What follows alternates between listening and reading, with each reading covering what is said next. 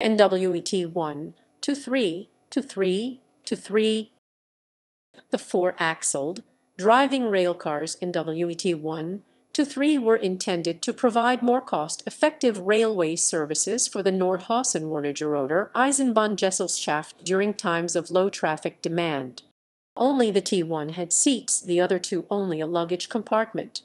On their takeover by the Deutsche Reichsbahn in East Germany after the Second World War they were given the numbers VT1 35 565 and 566. Due to a shortage of spare parts, T1 and 2 were scrapped around 1965 and only T3, which is still preserved today, was given a computerized number 18725 by the DR in 1972. Since 1993 it has been in the possession of the Harzer Schmalspurbahnen HSB and was restored to working condition in 1999 after over 20 years in storage.